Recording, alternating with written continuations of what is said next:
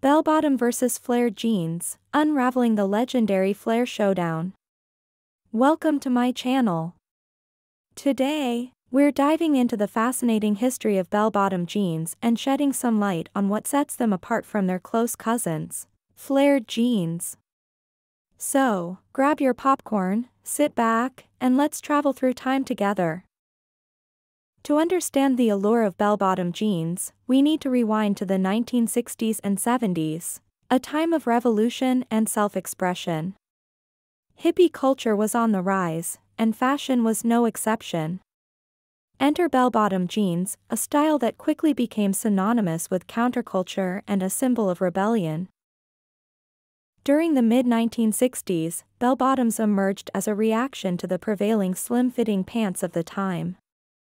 Inspired by the naval uniforms worn by sailors in the 19th century, these pants featured a distinctive design, a narrow fit around the hips and thighs, with an exaggerated flare from the knee downwards.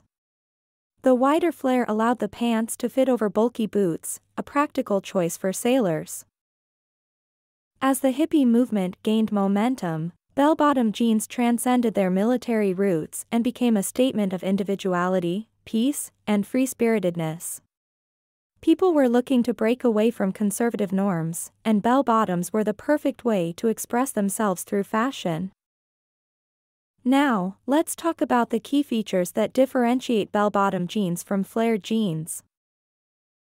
Flare size The most prominent distinction is the size of the flare. Bell bottoms have an extreme flare, with leg openings often reaching 22 inches or more, creating that iconic bell like shape. On the other hand, flared jeans have a more moderate flare, typically ranging from 15 to 20 inches. Position of the flare The flare on bell bottoms usually starts from just below the knee, allowing the fabric to flow dramatically from the mid-leg downwards. In contrast, flared jeans have a more gradual flare that begins from the upper calf or knee. Era and style Bell bottoms are firmly associated with the 60s and 70s, and they often feature bold, psychedelic patterns, tie-dye, or embroidery, embracing the free-spirited fashion of the time. Flare jeans, while sharing a similar flare design, can be found in various styles and patterns, catering to modern fashion tastes.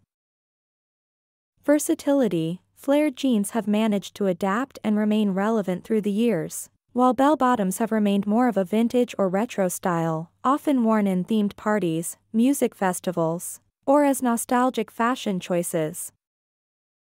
The popularity of bell-bottom jeans skyrocketed in the 70s, with iconic musicians and celebrities like Janis Joplin, Jimi Hendrix, and Farrah Fawcett rocking this fashion trend. It became a symbol of an era that challenged norms and embraced a bohemian lifestyle. As with any fashion trend, the bell-bottom craze eventually faded in the 80s, giving way to new styles like skinny jeans and leggings. However, as fashion often does, the trend resurfaced in the late 90s and early 2000s, with a wave of nostalgia for vintage fashion. Bell-bottom jeans are more than just a pair of pants, they represent an era of change, revolution, and artistic expression. Their extreme flare sets them apart from their more modern and versatile cousin, the flared jeans. Both styles have their unique charm and place in fashion history. I hope you enjoyed this trip down fashion memory lane. If you want to see more vintage fashion content, give this video a thumbs up and let me know in the comments. Don't forget to subscribe if you haven't already, and I'll see you in the next video. Stay groovy. Peace out.